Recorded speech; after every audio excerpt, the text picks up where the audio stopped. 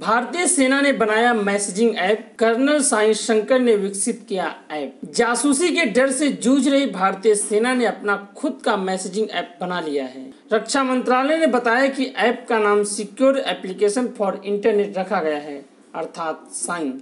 App end to end secure text message के अलावा audio और वीडियो कॉलिंग सर्विस को सपोर्ट करेगा। फ़िलहाल इस ऐप को एंड्रॉयड बेस्ड इंटरनेट सर्विस इस्तेमाल करने वाले स्मार्टफ़ोन के लिए तैयार किया गया है।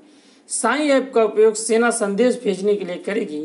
रक्षा मंत्री राजनाथ सिंह ने ऐप की समीक्षा करने के बाद इसे विकसित करने वाले कर्नल साई शंकर को उनके स्किल के लिए बधाई दी।